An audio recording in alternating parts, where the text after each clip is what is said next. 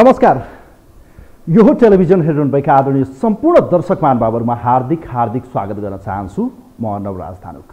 यो टेलिभिजनको विशेष लाइभ विशेष कार्यक्रम न्युज एन्ड भ्युजमा हामी देशको समसामयिक राजनीतिसँगै विकसित घटनाक्रम र आम जनताको चासो र चिन्तासँग सम्बन्धित रहेर विश्लेषण बहस र आम जनताका प्रतिक्रियाहरू लिँदै आएका छौँ कार्यक्रम न्युज एन्ड भ्युजमा। पछिल्लो समय यो देशमा दुई हजार सात सालदेखि प्रजातन्त्र लोकतन्त्र गणतन्त्र स्थापनाका निम्ति सम्पूर्ण राजनीतिक दलहरूको महत्त्वपूर्ण भूमिका रह्यो। तर व्यवस्था परिवर्तन भए पनि जनताको अवस्था भने जिउको त्यौँ छ र आम गरिब निमुखा र विपन्न वर्गहरू अहिले पनि दुःख सुख गर्दै आफ्नो जिन्दगी चलाइरहनु पर्ने परिस्थिति छ। नेपालका राजनीतिक दलहरूले दुई हजार सात सालमा प्रजातन्त्र ल्याएसँग यो देशमा व्यवस्था परिवर्तन भयो अब जनताको अवस्था परिवर्तन हुन्छ कि भन्ने आशा जिनो रह्यो तर सत्र सालमा त्यो आशा फेरि तुइयो र दुई हजार छत्तिस सालको जनमत सङ्ग्रहमा पनि नेपाली जनताको विपक्षमा बहुदलीय व्यवस्था आउन सकेन। दुई हजार अडचालिस सालपछि देशमा बहुदलीय व्यवस्था आयो। यिनै राजनीतिक दलहरू फेरि फेरि घुम्दै फिर्दै फेरि सत्ताको बागडोर सम्हाल्न सम्हाल्न पुगे तर जनताले के पाए? दस वर्ष जनयुद्ध यो देशमा लोकतन्त्र स्थापना भयो त्यसपछि पनि जनताले के पाए? पछिल्लो समय आम जनताको चिन्ता र चासो थियो कि आफ्नै जनप्रतिनिधि र आफ्नै हातबाट लेखिएको संविधान आएपछि के के र हुन्छ सोचियो तर भन्नुपर्छ बाह्र वर्ष कुकुरको पुच्छर ढुङ्गामा राख्यो बाङ्गाको बाङ्गै अर्थात् देशमा व्यवस्था परिवर्तन भयो संविधान आयो लोकतन्त्र गणतन्त्र जेसुकै व्यवस्था आए पनि गरिब जनता भने आँसुसँग आँसु चुहाउँदै आफ्नो जीवन चलाउनु पर्ने परिस्थिति जिउका त्यौँ छ वास्तवमै यी राजनीतिक दलहरूप्रति खासै गुनासो छैन तर व्यवस्था परिवर्तन भए पनि जनताको अवस्था कसले परिवर्तन गरिदिने? यिनै राजनीतिक दलहरूले जनताको बिचमा गरिब जनताको बिचमा कैयौँ लोकप्रिय सपना बाँडे तर अहिले पनि हेर्ने हो भने टुटफुट र गठबन्धन अर्कोतिर स्थायित्व नपाइरहँदा आम जनताले अहिले पनि पीडा भोग्नुपर्ने परिस्थिति छ। दूर दराज र कुना कन्दरामा पुग्ने हो भने अस्पतालहरूको अवस्था त्यस्तै छ शिक्षाको अवस्था त्यस्तै छ पेन्डामिकको सिचुएसनमा मान्छेले खास गरी जनताले आम नागरिकले अक्सिजन बेडहरू र त्यसै गरी चाहिँ अस्पतालसम्म पुग्ने साधन समेत नपाउँदा ज्यान गुमाउनु परेको परिस्थिति छ। हो यस्तो विषम परिस्थितिमा देशमा संविधान आयो लोकतन्त्र गणतन्त्र सबै व्यवस्था ल्यायौँ तर आम गरिब तिन करोड नेपाली जनतालाई के पाए? यिनै राजनीतिक दल टुटफुट भए पनि के पाए? दुई ठुला मेजर दलहरू एक हुँदा पनि आम जनताले के पाए? खासै जनताको व्यवस्था परिवर्तन भए पनि अवस्थामा खासै परिवर्तन आएन। हो तितो यथार्थ यस्तै छ। कोरोना महामारीले बेरोजगारी बनाएको छ देशको अर्थतन्त्र डामाडोल बनेको छ तर विदेश जाने हजारौँ सपना देखेका नेपालीका छोराछोरीहरूको सपना चकनाचुर भएको छ तर विदेश जाने यो मोह भनौँ या बाध्यता भनौँ एक किसिमको कहाली लाग्दो कथा आजको न्युज एन्ड भ्युजमा हामी तपाईँहरूको माझमा पस्किँदैछौँ।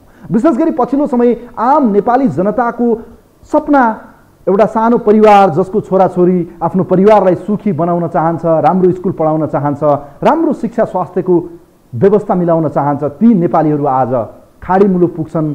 एउटा एउटा सुन्दर सपना देख्छन् तर घर फर्किँदा ती सपना सबै चाकनाचुर हुन्छन्। र फर्किँदा एयरपोर्ट अन्तर्राष्ट्रिय विमानस्थलमा हेर्ने भने बाकसमा आफ्नो लास लिएर फर्किनु पर्ने। यस्तो बाध्यता हामी नेपालीको छँदैछ। यस्तो विषम परिस्थितिमा नेपालको सरकार जोसुकै आए पनि चाहे कम्युनिस्ट आए चाहे चाहिँ राजाको बेला होस् चाहे पछिल्लो समय गठबन्धनको सरकार चाहे कङ्ग्रेसको सरकार तर जनताको लागि यो सरकारले कहिल्यै काम गर्न सकेन। किन विदेशमा जानबाट युवालाई पलायन हुनबाट रोक्न सकेन?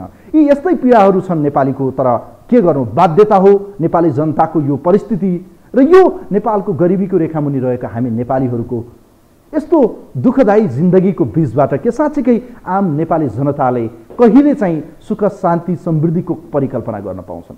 यिनै राजनीतिक दल र सरकारले अब सोच्नुपर्ने बेला आएन र आम जनता जहिले पनि भोट ब्याङ्क र मत मत दिने र कर बुझाउने मात्रै हामी हो त? यस्तो परिस्थितिमा यदि अब पनि हामीले सोच्न सकेनौँ भने व्यवस्था जतिसुकै परिवर्तन गरे पनि आम जनताको जीवनमा खासै परिवर्तन आउनेवाला छैन। विशेष गरी युवा पलायन रोक्न सरकार किन चुकिरहेको छ? खै गरिब जनताको सरकार? यिनै विषय प्रसङ्गमा आजको विशेष अङ्कमा हामी एकैछिनपछि तपाईँहरूका प्रतिक्रिया लिनेछौँ। कार्यक्रमलाई तयार पारेको एउटा विशेष रिपोर्ट छ। आम तिन करोड नेपाली जनताका छोराछोरीको सपना बुनिएको छ तर त्यो सपना कहिले साकार हुँदैन। विडम्बना हाम्रा देशका युवाहरू पलायन भएको छ तर सरकार यो रोक्नेतिर कहिल्यै ध्यान ध्यान दिँदैन। किन यस्तो छ? खै हाम्रो सरकार? यिनै विषय प्रसङ्ग आजको विशेष अङ्कमा कुराकानी गर्नेछौँ। कार्यक्रमलाई तयार पारेको एउटा रिपोर्ट छ। यो रिपोर्ट हेरौँ।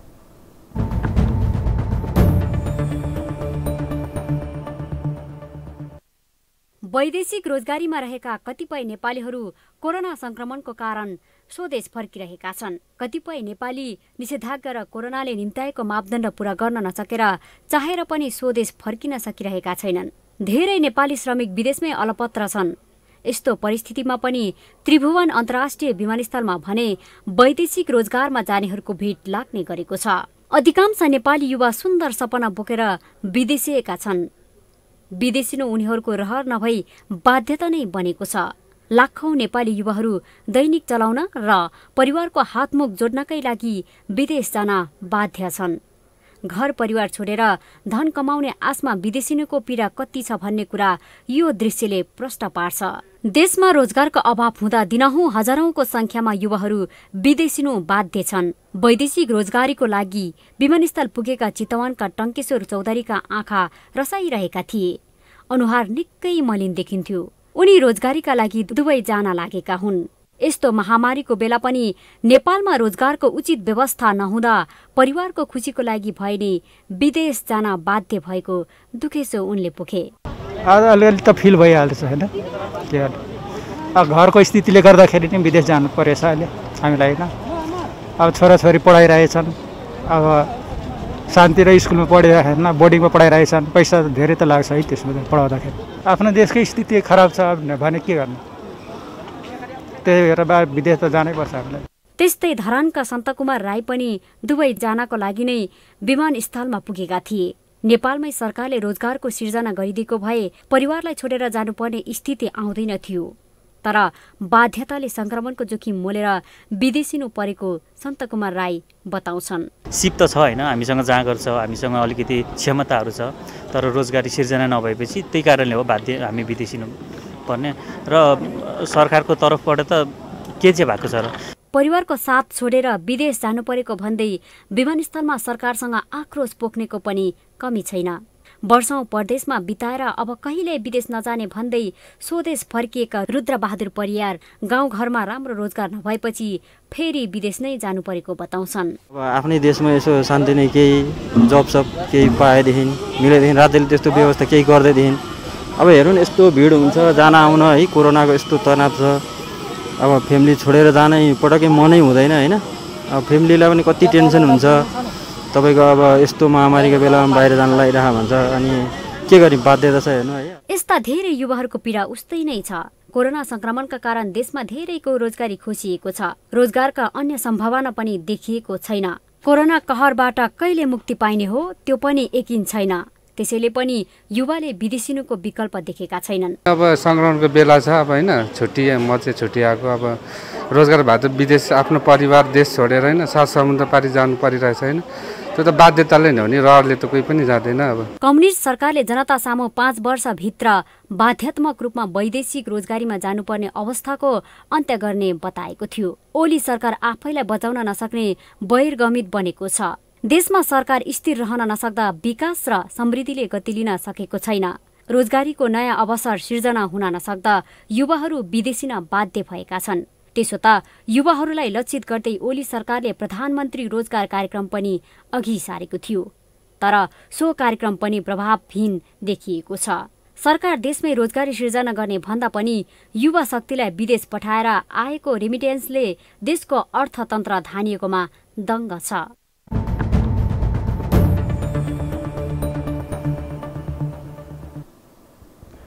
आदरणीय दर्शकबिन यो विशेष रिपोर्ट पीडादायक छ। वास्तवमै आम जनता आम नागरिकको तितो यथार्थलाई पस्किने प्रयास हामीले गऱ्यौँ आजको न्युज एन्ड भ्युजमा। वास्तवमै सत्ता लिप्सा स्वार्थमा लिप्त नेपाली राजनीतिले साँच्चीकै भन्यो भने आम जनताका लागि आम नागरिकका लागि के गर्न सक्यो त? साँच्चीकै व्यवस्था हामीले परिवर्तन गऱ्यौँ ठुला ठुला आन्दोलन गऱ्यौँ ठुलो सङ्घर्षबाट प्राप्त भएको राजनीतिक अधिकार त प्राप्त गरियो तर जनताको अवस्थामा भने खासै परिवर्तन देख्न पाइएन। यस्तो परिस्थितिमा अहिले पनि चाहे कम्युनिस्टको सरकार होस् चाहे कङ्ग्रेसको सरकार होस् व्यवस्था परिवर्तन गर्नका निम्ति उहाँहरूको ठुलो योगदान छ। तर सरकारको ध्यान आम गरिब जनता विपन्न वर्ग र विदेश पलायन भइरहेका युवाहरूलाई रोक्नेतिर किन ध्यान जाँदैन त? किन सरकार यी विषयप्रति बढी चाहिँ चिन्तित देखिँदैन? देशको आज सक्रिय शक्ति अर्थात् क्षमतावान शक्ति दक्ष जनशक्ति विदेशको खाडीमा पसिना बगाइरहँदा आफ्नो सपनाको संसार बुनिरहँदा तर सरकार र सँगै रहेका राजनीतिक दलहरू भने सत्ता लिप्सा कुर्सीको दौडधुप र चाहिँ देशमा चाहिँ खिचातानी दल फुटाउने दौडाउने मन्त्री बन्ने तछाड मछाडको यो किचलो र एक किसिमको नाटकीय रूपमा देख्दाखेरि नेपालका राजनीतिक दलहरूलाई भने क्षमा दिन सकिन्न। यस्तो विषम परिस्थितिमा आजको विषयवस्तु तपाईँहरूलाई जानकारी पाइसक्नु भएको छ। खास गरी युवा पलायनलाई रोक्न किन सरकार र राजनीतिक दलहरू गम्भीर हुन हुँदैनन्? यो देशका युवाहरूको पीडा यो देशका गरिब जनताको पीडा सम्बोधन गर्न किन राजनीतिक दलहरू गम्भीर नभएकै हुन् त? के लाग्छ आम जनतालाई? यस विषयमा तपाईँहरूको धारणा लिन चाहन्छु म। विशेष गरी आम नागरिकका लागि हाम्रो टेलिभिजन स्क्रिनमा चाहिँ नम्बर फ्ल्यास पनि भइरहेको छ। यो नम्बरमा तपाईँहरूले फोन गरेर आफ्नो विचार राख्न सक्नुहुन्छ। कोही हुनुहुन्छ? हाम्रो लाइनमा उहाँलाई वेलकम गर्न चाहन्छु। नमस्ते यहाँलाई स्वागत छ कार्यक्रममा। नमस्ते नवराज सर। कहाँबाट को बोल्नुभयो सर? म मोरङ तमाइनौ इटाराबाट चिन्तामणि भट्टराई बोलिरहेको छु। ल भट्टराई सर अब देशको युवा शक्ति पलायन भइरहेको छ कोरोना महामारीको यो पेन्डामिकको सिचुएसनमा पनि रोकिएन तर सरकार राजनीतिक दल भने भन्छ काम कुरो एकातिर कुम्लो बोकी ठिलीतिर भने जस्तै यो राजनीतिक किचलोले देशको यस्तो हालत बनाएको छ। पीडादायी हामीले रिपोर्ट देखायौँ। के भन्न चाहनुहुन्छ तपाईँ भन्नुहोस् त।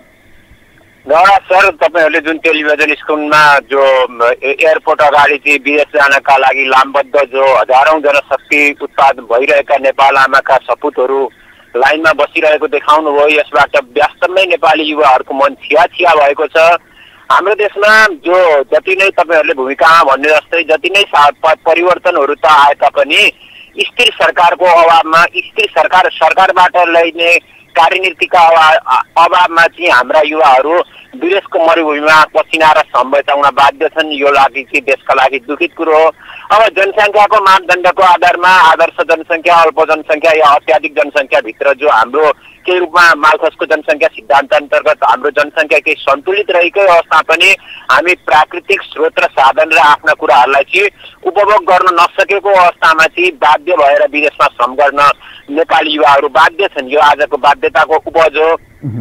बाध्यताको उपज हो र यसबाट चाहिँ के भइरहेको छ भने तपाईँले भने जस्तै रेमिट्यान्सको भरमा सरकारले आफ्नाहरू त चलाइरहेको छ तर जो जो रहेर आफ्ना बुवा आमा आफ्ना कलिला सन्तानहरूको चाहिँ भविष्यका लागि विदेशमा सम्वेदन युवाहरू बाकसमा प्याक भएर। एयरपोर्टमा काली लाग्दो त्यो एउटा हृदय विराग यो तस्बिर हेर्दा प्रश्न हुँदैन। हामीले टेलिभिजनमा देखाइरहेको छु। म पनि मजाले हेर्दैछु। यो रिपोर्ट तयार पार्दासम्म पनि बडो मन नै भावुक हुन्छ। नेपालको युवा शक्ति आज विदेश पलायन छ तर सरकार हेर्नुहोस् मैले भनिसकेँ कता कता जाँदैछ कुन दिशातिर देश बनाउँछु भन्दैछ यस्तो परिस्थितिबाट देश बन्छ यो सपना झुटो भएन र। अब यसमा चाहिँ के छ भने रौरा सर यो हाम्रो देशले केही सरकारले केही त नीतिहरू ल्याए तापनि जस्तो युवा स्वरोजगार अ, स्वावलम्बी स्वरोजगार आदि आदिका कुराहरू या रोजगारी भत्ताका कुराहरू आए तर पनि हाम्रो देशको आर्थिक स्थिति बढ्दो महँगी अनि अन्य अन्य प्रकारका कारणले स्वदेशमा उत्पादित रो, रोजगारबाट चाहिँ आफ्नो जीवनमा यो भोलिको जीवन सुखमय हुन सक्दैन भन्ने एउटा सोच चाहिँ हामी नेपालीहरूमा विकास हुन सकिरहेको छैनन् र यसप्रति आकर्षण पनि भयो बढिरहेको छैन। जस्तो पाँच सय पो पोहोरसम्मको उसमा पाँच सय अठार रुपियाँ दैनिक भत्ताका लागि महसुस दैनिक रोजगारी भत्ताका लागि ज्याला श्रमिकको तोकिएको थियो। त्यसका आधारमा जाने भने कि एउटा घरमा गएर बिहान बेलुकाको छाक तार्नेदेखि लिएर बल बच्चाहरूलाई चाहिँ स्कुल पठाउनु पर्ने सम्पूर्ण कुराहरूको चाहिँ मेन्टेन आजको वातावरणले मग बढ्दो मगीदेखि लिएर हर कुराहरूले असम्भव भएकाले पनि नेपालीहरू युवाहरूमा एउटा यो- बाध्यता लाग्छ मान्छे रहरले होइन बाध्यताले पलायन हुनुपर्ने परिस्थिति छ। भद्राईज्यू यहाँलाई म धन्यवाद दिन चाहन्छु। बडो महत्त्वपूर्ण आफ्नो विचार राखिदिनु भयो कार्यक्रम न्युज एन्ड भ्युजमा म धन्यवाद दिन चाहन्छु। बडो चिन्ता चासो लाग्छ हेर्नुहोस्। अहिलेको सक्रिय शक्ति अहिलेको जथे जनशक्ति यदि नेपालमा हुन्थ्यो र त्यो परिस्थिति या एक किसिमको वातावरण हुन्थ्यो भने देशले काया पलट गर्न केही समय पनि लाग्दैन। तर सरकारको ध्यान अर्कैतिर देख्छौँ हामी वास्तवमा यो देशलाई कहाँ पुर्याउन खोज्दै हुनुहुन्छ किन त्यो स्थिति छैन? यो तस्बिरहरू हेर्दा यो भिडियो फुटेजहरू हेर्दा लाग्छ कि साँच्चै कि यो देश त सकिँदैछ कि क्या हो? के के न चाहिँ बगाएर हामी पठाउँदैछौँ? आज पलायन भइरहँदाखेरि हाम्रा युवा हाम्रो शक्ति कसरी पलायन हुँदैछ? कति पसिना बगाउँदैछ? यस्तो विषम परिस्थितिमा राजनीतिक दलहरूले सोच्नुपर्ने होइन रोजगारीका लागि बुझिदिनु पर्ने होइन। किन सरकार कानमा तेल हालेर बस्छ? किन सरकार बुझिदिँदैन? किन सरकारले रोक्ने काम गर्दैन? यी लगायतको विषयहरू त आम जनताको मनमा छँदैछन्। फेरि कोही हाम्रो लाइनमा हुनुहुन्छ उहाँलाई वेलकम गर्न चाहन्छु। नमस्ते यहाँलाई स्वागत छ। हजुर नमस्कार। कहाँबाट को बोल्नुभयो सर? ज्ञान प्रसाद भूषाल अरखाजीदेखि ल भुषाल सर यहाँले आफ्नो विचार राख्नुहोस्। बडो हामीले फुटेज पनि देखाइरहेका छौँ। पीडा छ हेर्नुहोस्। यो बाध्यता यो हेर्नुहोस् कस्तो विडम्बना आम नेपाली जनताका छोराछोरीले यसरी आफ्नो रगत पसिना बगाएर देशलाई रेमिट्यान्स पठाउनु पर्ने सपनाका हजारौँ सपना बुनेर चाहिँ बाहिर जानुपर्ने अवस्था छ। तर सरकार हेर्नुहोस् त के काम गरिरहेको छ? किन यसप्रति ध्यान दिँदैन? यहाँले के भन्न चाहनुहुन्छ भन्नुहोस् त? अब यो जुन बाध्यताका कुरा गर्नुभयो हजुर। अब यो नेपालीलाई बाध्यता आजबाट होइन छ्यालिस सालबाट होइन सात सालबाट होइन राणा कालबाट बाध्यता हो। अब कसरी बाध्यता भन्नुहोस्? अब राणा कालमा नेपालीका छोराले शिक्षा लिए पढे भने यिनीहरूले हाम्रो सत्तामा टिक्न दिन्नन् यहाँ खाना बस्न दिन्नन् भनेर उहाँ नेपालीहरूलाई शिक्षाबाट वञ्चित गराएर सत्ता चलाइएको थियो। यो हामी सबैमा जगजाहेर छ। र त्यसको राणा शासनको अन्तपछि र- राजतन्त्र आयो। राजतन्त्रले पनि के गर्यो भने अब शिक्षालाई रोक्न सकेन। अब युवाहरूलाई गोर्खा फौज विदेशी फौज र केही युवाहरूलाई आफ्ना आफ्ना फौजमा भर्ना गरेर केही वर्ष सत्ता टिकायो यो पनि सबैलाई जगजाहिर छ। देशका जनता देशको विकास जनता भन्दा पनि सत्ता टिकाउने खेल कसरी हुन्छ युवाहरूलाई कसरी उपयोग गरेर हुन्छ कहाँ पठाएर हुन्छ भन्ने राजतन्त्रसम्म पनि आयो। त्यसपछि छ्यालिस सालको आन्दोलन भयो। यिनै यिनै कथित विषयहरू लिएर युवाका विषय लिएर मजदुरका विषय लिएर किसानका विषय लिएर गरिब महिलाका विषय लिएर बालबालिका विषय लिएर आन्दोलन भयो। र त्यसपछि बहुदलीय कथित बहुदलीय व्यवस्था ल्याएपछि गिरिजा प्रसाद कोइराला प्रधानमन्त्री भएर खाली देशमा गएर सरम सम्झौता गरेर आए। अब उनलाई पनि त्यही डर थियो। युवाले देशमा हामीलाई सित- सत्तामा टिक्न। दिन्दैन भन्ने डर थियो र युवा भइलाई खाली देशमा र ब- विदेशमा पलायन गरियो। यो राणा कालबाट चल्दै आएको यो चाल चलन हो चल्दै आएको नीति हो। चाहे बहुदल आओस् चाहे गणतन्त्र आओस् चाहे सङ्घीयता आओस् चाहे कुनै पनि सत्ता यसमा आओस् कुनै पनि व्यवस्था आओस्। जुन राणाकालीन नीति नेपालमा थियो आज पनि उही नीति अनुसार यहाँका नेताहरू चलेका छन् यहाँको राष्ट्रिय सत्ता चलेको छ यहाँका प्रतिक्रियावादीहरू चलेका छन् र यसको अन्त गर्नलाई यसको अन्त यो अहिलेको गणतन्त्र सङ्घीयता के के के के भन्छन् यसबाट हुँदैन नयाँ परिवर्तन हुनै पर्छ देशमा हस् यहाँलाई धन्यवाद दिन चाहन्छु। विशेष गरी हेर्नुहोस् त हामी आफै हेरौँ कोरोना महामारी छ पेन्डामिकको यो सिचुएसन छ धमाधम मान्छेहरू अहिले पनि चाहिँ मृत्युवरण गरिरहेको परिस्थिति छ तर यस्तो विषम परिस्थितिमा समेत विदेश जाने लहर लहर हेर्ने हो एक किसिमको लहरको हेर्ने हो भने त त्यो त गिन्न सकिन्न आँखाले हेरेर चित्त बुझाउनु पर्ने। यो दुःखदायी तस्बिरहरू पीडाहरू हामीले देखिरहेका छौँ। बाध्यताले आम नागरिक जानुपर्नेछ तर सरकार भने मस्त अरू नै काममा छ अरू नै व्यस्तता छ आफ्नो कार्यकर्ता भर्ती गर्ने कि कतातिर चाहिँ मोलमलाइ गर्ने हो? अहिलेको गठबन्धनले के साँच्चीकै देशका युवाहरूलाई रोक्न सक्छ? यो पलायन हेर्नुहोस् त एकपटकलाई। यस्तो विषम परिस्थिति यस्तो पेन्डामिकको सिचुएसनमा समेत देशका युवाहरू पलायन हुनुपर्ने परिस्थिति छ। तर सरकारले यो बेला पनि यदि राजनीतिक दलहरूले यो घर झगडा एक किसिमको किचलो स्थायित्व आउँछ रोजगारी दिन्छौँ सुखी नेपाली समृद्ध नेपाल कैयौँ सपना बाँडिए तर यी सपना सबै कोरा कागजको सपना रहेछ। अर्थात् यी सबै सपना दिवा सपना मात्रै रहेछन् भनेर भन्न सकिन्छ। कोही हुनुहुन्छ हाम्रो लाइनमा? उहाँलाई वेलकम गर्न चाहन्छु। नमस्ते यहाँलाई स्वागत छ कार्यक्रममा। नमस्ते नवराजी नमस्ते। केपीजी धनगढीबाट बोल्दै हुनुहुन्छ केपी चौधरीजी ल भन्नुहोस् यहाँले आफ्नो विचार राख्नुहोस्। विशेष गरी युवाहरू पलायन भए देशको राजनीति फेरियो व्यवस्था फेरियो तर जनताको गरिब जनताको अनुहारमा खुसी आउन सकेन। आँसु चुहाएर रोएर बस्नुपर्ने त्यो लासलाई चाहिँ यो त्यो सबलाई चाहिँ हामीले आफूले चाहिँ बाकसमा ल्याइरहेको हेर्नुहोस् त त्यो पीडा। यस्तो यो पेन्डामिकको सिचुएसनमा पनि हजारौँ मान्छे अहिले विदेश जानुपर्ने परिस्थिति आएको छ। सरकार राजनीतिक दलहरू सबै फेलियर भए के भन्नुहुन्छ यहाँले? आजको विषय नै हो नवरा सर हो यही नै हो। अब जुन तपाईँले उठान गर्नुभएछ अब यो र त्यसमा त्यो के अरे तपाईँको आज यो विषय हो भनेपछि त्यो विभिन्न पार्टीमा केन्द्र लेभलदेखि लिएर प्रदेशदेखि लिएर जिल्ला र नगरसम्मका नेता बनाउने साथीहरूले एउटा कुरो चाहिँ के बिर्सिनु के हुँदैन भने यो जति जुनसुकै पार्टीमा पनि कसैले यो तपाईँको खान नपाएर काम नपाएर त्यो झोला बोक्नु गएको होइन कि? मुलुक परिवर्तन हुन्छ र मुलुक परिवर्तन भएपछि हाम्रो पनि जीविका परिवर्तन होला र नेपालमै बसेर रोजगार गरौँला र नेपालमै श्रीमतीसँग केटाकेटीसँग रमाउला भनेर चाहिँ कार्यकर्ता चाहिँ बनेको हो भनेर बुझ्नु पर्यो र त्यो ती पार्टीहरूमा सहयोग गरेको भनेर बुझ्नुपर्छ। होइन भनेपछि त्यो के अरे कमैया पत्ताको अन्त त के अरे एउटा तपाईँको भएको चाहिँ देखिन्छ। तर पार्टीभित्रको कमैया प्रथा जुन छ विभिन्न पार्टीमा रहेका कमैया प्रथाहरू यो कमैया प्रथा अन्त चाहिँ अहिले फेरि भएको छैन। यो हिजोको कार्यकर्ता दुई हजार सात सालको दुई हजार सत्र सालको दुई हजार छत्तिस सालको दुई हजार छ्यालिस सालको कार्यकर्ताहरू चाहिँ होइन अब। त्यसले गर्दा विभिन्न पार्टीका नेताहरूले एउटा के बुझ्नुपर्छ भने यिनलाई देशभित्र रोजगारको व्यवस्थाहरू होइन यो सरकार होस् चाहे राजनीतिक दलहरूले जनतालाई किन हेर्दैन नागरिकको जीवन स्तरलाई किन हेरिदिँदैन शिक्षा स्वास्थ्य खानेपानी रोजगारीको सवालमा न्यूनतम विषय मात्रै जनताले खोजेको छ हामी सोच्दैनौँ। कुर्ची कुर्ची कुर्ची सत्ता सत्ता सत्ता प्रधानमन्त्री कसलाई बनाउने मन्त्री कसलाई बनाउने कसले चाहिँ झन्डा हल्लाउने को चाहिँ सांसदलाई चाहिँ तान्ने लुकाउने किन्ने बेच्ने यो परिस्थितिबाट आम जनताको नजरमा कहिल्यै यो राजनीतिले किन छोएन? किन यो राजनीतिक दलहरूको आँखामा जनता परेनन् नागरिक परेन नवराजी नवराजी मैले थोरै सकिहालेँ होइन? तपाईँलाई अरूलाई पनि समय दिनुपर्छ। मैले चाहिँ तपाईँको मैले सारमा तपाईँलाई भन्नु पर्यो भनेपछि यो सबै पार्टीमा तपाईँको यो किसिमको यो व्यवहारहरू भएको कारणले र नेपाली जनता पनि हिजोको दिनमा नेपाली काङ्ग्रेसको एकजना अहिले यो संसारमा हुनुहुन्न यो गोरेशमानजी कहिलेकाहीँ चाहिँ उहाँले भन्नुहुन्थ्यो यो जनताहरू पनि भेरा हुन् कि भनेर भन्थ्यो। अब त्यो शब्दहरू ठिक थियो कि थिएन त्यो अब त्यो उहाँले जान्ने कुरो हो। तर अहिलेको प्रवेशमा आइपुग्दा नेपाली जनताहरू पनि एउटा के बुझ्नुपर्छ भने परिवर्तन चाहेकै हो भने परिवर्तन पनि खोज्ने अनि पुरानो घर पनि नभत्काउने शेरबहादुरलाई भोट हाल्ने माधव नेपाललाई भोट हाल्ने अनि केपी ओलीलाई भोट हाल्ने अनि त्यो परिवर्तनको सपना हेरेर हुन्छ। नयाँ संसार चाहियो भनेपछि नयाँ ढङ्गले युवा के अरे नयाँ ढङ्गले हिँड्नुपर्ने यो जनताले पनि त बुझ्नु पर्छ यहाँले धेरै धेरै धन्यवाद दिन चाहन्छु यहाँलाई केपिसी। वास्तवमै तपाईँले बडो महत्त्वपूर्ण कुरा गर्नुभयो। अब अब अब कहिलेसम्म हामीले हेरेर मात्रै चित्त बुझाउने? अब जनताले अब नबुझे कहिले बुझ्ने? विकल्प खोज्नु पर्ने बेला आएकै हो त। अहिलेको राजनीतिक दलहरू सबै फेलियर भएकै हुन्।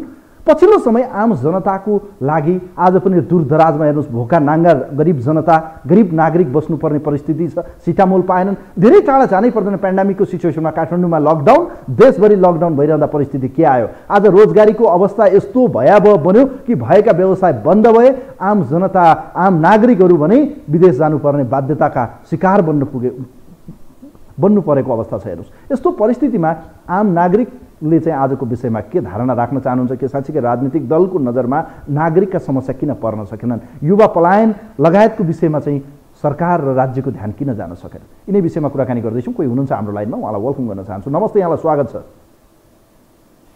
नमस्ते यहाँलाई स्वागत छ कार्यक्रममा। नमस्ते। कहाँबाट को बोल्नुभयो सर? म बनस्थलीबाट नित्रबहादुर बस्नेत हो।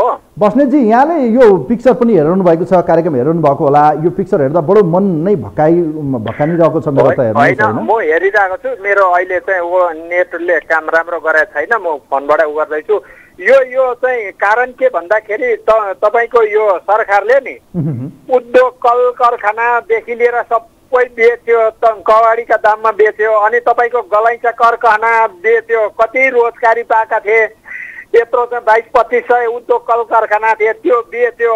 अहिले नेपालीका छोराछोरीलाई विदेशमा बेचेर रेमिटेन्स खाएर ऊ सुविधामा बसेको नि त त्यो सबै बसे भने उनीहरूले। यहाँ चाहिँ अब मनपरी गर्न पाउँदैनन् युवा वर्गले त्यो उनीहरूलाई भ्रष्टाचार गर्न दुनियाँ दिँदैनन्।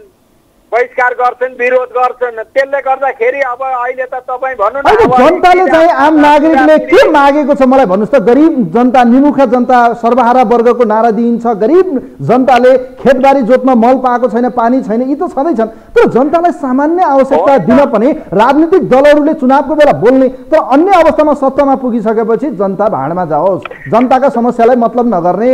कोरोनाको बेला अस्पतालमा औषधि पाएन भेन्टिलेटर पाएन अक्सिजन पाएन जनता मऱ्यो। तर राजनीतिक दलको नजरमा जनता आम नागरिक किन पर्न सक्दैनन् भने के भन्नुहोस् त? होइन तपाईँको यस्तो छ नि त। त्यो अलिकति जन युवाहरू बाहिर पठाए। अब यिनीहरूको त्यो भएको युवा युवती भन्ने नेपाली काङ्ग्रेसका माओवादीका एमालेका झोला र झन्डा बोक्ने छन्। त- तपाईँ मान्नुहोस् यो महँगी किन बढेको छ त? त्यो सबै उनीहरूलाई चाहिँ पल्सरदेखि लिएर चाहिँ पाकिट खर्च तेल खर्च उनीहरूले दिन्छन्। अब त्यो भएर उनीहरू सडकमा आउँदैनन्। अब निम्न वर्ग छ त्यो सडकमा आउन सक्दैन। मेन कारण यो एउटा गाइडिङ गर्ने लिडरसिप नभएको कारणले जनता सडकमा आउन नसकेको। त्यसले गर्दा यो यस्तो चाहिँ भयावह भइराखेको। तपाईँको एउटा रोजगारी जनतालाई दिएको छैन। यिनीहरूका छोराछोरी यिनीहरूका आफन्त नेताका कार्यकर्ता र यिनीहरू आफन्त नाता गोता त सम्पन्न भयो नि। अहिले तपाईँ भन्नु न प्रचण्डका मात्रै आठ नौजना उसका मान्छे त मन्त्रीमण्डलमा सुविधा खानेमा छन् नि त। तपाईँको चाहिँ आठ नौ पचास साठी करोडका गाडीहरू चढ्छन् यिनीहरूको सम्पत्ति कति सत्ता फर्काएका जनताले सत्ता चलाउनलाई नै म्यान्डेट दिएको तर जनताको सवालमा आम नागरिकको सवालमा न्यूनतम कुरा गरिदिनु पर्यो भन्ने मात्रै हो। बस्नेजी यहाँलाई म धन्यवाद दिन चाहन्छु। थ्याङ्क यू सो मच यहाँले आफ्नो विचार राखिदिनु भयो। म धन्यवाद दिन चाहन्छु। विशेष गरी राजनीतिक दलहरूप्रति मेरो खासै टिका टिप्पणी चाहिँ छैन तर दुखेसो र गुनासो चाहिँ छ। खास गरी पछिल्लो समय देशमा आमूल परिवर्तन भयो प्रजातन्त्र लोकतन्त्र गणतन्त्र बहुदलीय व्यवस्था हामीले धेरै व्यवस्थालाई परिवर्तन गर्ने आँट गऱ्यौँ संविधान ल्यायौँ तर जनताले के पाए? चुनाव भयो तिनै तहको निर्वाचन भयो जनताका अधिकार सिंहदरबारको अधिकार गाउँमा पुर्याइन्छ भन्यो तर आज हेर्ने हो भने भ्रष्टाचार मात्रै पुगेको देखिन्छ।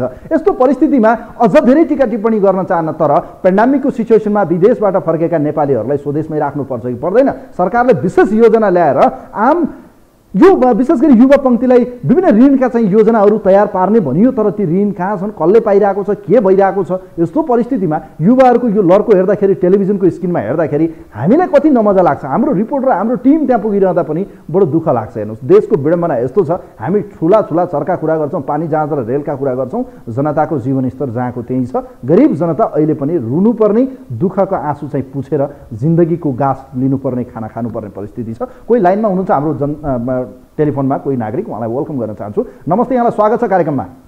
सर नमस्ते। म हरिश ल हरिश यहाँले आफ्नो विचार राख्नुहोस् देशको युवा शक्ति पलायन छ राजनीतिक दलहरू सत्ता स्वार्थमा मस्त छन् कहिले ठुला ठुला रिसोर्ट त कहिले ठुला ठुला उहाँहरूको बार्गेनिङ चलिरहेको छ कसलाई के मतलब छ र आफ्नो कुर्सी बचे भयो देशका जनता जहाँ जाउन् जे गरून् कहाँ के भइरहेको छ कसलाई बाल छ र कसलाई मतलब छ र तपाईँले के भन्नुहुन्छ भन्नुहोस् त। वास्तविक त जनताको अब राम नेताको त गति तिनीहरूको भनौँ न हकीकत त दुनियाँले चिनिसक्यो अब जनताहरू त अब एकदम आजित भइसकेका छन्। कस्तो तरिकाले आजित भएका छन् खानाको लागि देशमा चाहिँ साँझ बिहान चाहिँ रोटी छैन मान्छे युवाहरू विदेशको खाडीमा चाहिँ त्यत्रो दुःख भोगेर गइरहेका छन्। बाग- बाकसमा लास आउँदैछ बगैर सरकारले आफै नै बाकसमा बोकेर चाहिँ काठमाडौँमा चाहिँ हस्तान्तरण गर्दैछ बगैर बजेट हस्तान्तरण गरे जस्तै अहिले हेर्नु देशमा चाहिँ प्रत्येक प्रान्तीय स- यो प्रदेश सरकारमा ठाउँ ठाउँमा हेर्नुहोस् तपाईँको चार अरब पाँच अरब छ अरब दस अरब जस्ता एउटा बिल निकालिरहेका छन् त्यो पैसा कुन ठाउँमा गयो कुन ठाउँमा विकास भयो कुन ठाउँमा स्थानीय तहमा हेर्नुहोस् अहिले हाम्रो सुदूरपश्चिमको स्थानीय तहका मिडिया पत्र पत्रिकामा लोकल पत्रिका पठाएको छु एउटा भनौँ गाउँपालिकाले पचास लाख। हरिशजी समस्या लाग्छ उहाँको टेलिफोनमा प्रब्लम आयो डिस्कनेक्ट भएको छ। विशेष गरी आजको न्युज एन्ड भ्युजमा हामीले पछिल्लो समय देशका युवा शक्ति पलायन भए देशमा व्यवस्था परिवर्तन भयो तर अवस्था परिवर्तन गर्न कुनै पनि सरकार चाहे कालो होस् चाहे गोरो होस् चाहे कम्युनिस्ट होस् चाहे गैर कम्युनिस्ट होस् चाहे एक दलको होस् चाहे पाँचवटा दल या दस दलको बने पनि जनताको जीवनमा खासै परिवर्तन भने आएन। गरिब जनता अहिले पनि धितो राखेर लोन लिएर विदेश जानुपर्छ र विदेश गएर सपनाको संसार बुनिन्छ तर फर्किँदा लास मात्रै फर्केका कैयौँ उदाहरण मैले भनिरहनु पर्दैन। कोही जनता हाम्रो लाइनमा हुनुहुन्छ उहाँलाई वेलकम गर्न चाहन्छु। नमस्ते यहाँलाई स्वागत छ कार्यक्रममा। हजुर नमस्कार हजुर नमस्कार। कहाँबाट को बोल्नुभयो सर? हजुर म धनुषा गोदारबाट महादेव महतो। महतोजी यहाँले आफ्नो विचार राख्नुहोस् अब तराई मधेसका धेरै युवाहरू आज विदेशको खाडीमा छन्। कैयौँ पीडा मैले सुनाइ पनि रहेको छु। घरको जग्गा धितो राख्नु परेको छ विदेश पठाउनु परेको छ फर्किँदा सपनाका संसार बोकेका मान्छेहरूको लास मात्रै फर्केको परिस्थिति छ तर सरकार सत्ता लिप्सा मन्त्री बन्ने पार्टी फुटाउने कसलाई कसलाई कसलाई कतिखेर बनाउने कुन मन्दिर बनाउने कि कहाँ के जलहरी राख्ने भन्ने जस्ता काम मात्रै गर्यो तर जनताको जीवनमा खासै परिवर्तन आएन। के भन्न चाहनुहुन्छ? होइन यो विषयमा नि हजुर। हजुर।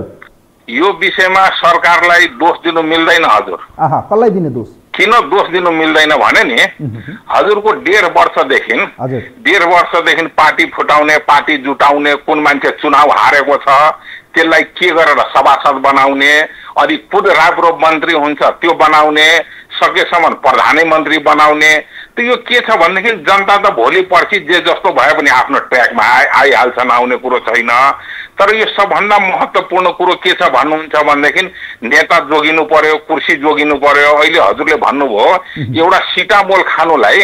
जनतालाई परेसानी छ। तर एउटा नेता बिमारी भएर अन्त देशमा गयो भनेदेखि जुनसुकै पार्टीका होस् त्योदेखि मतलब छैन। तर पचास क पचास लाख एक करोड दुई करोड रुपियाँ ढिकुटीबाट चाहिँ हालिदिन्छ।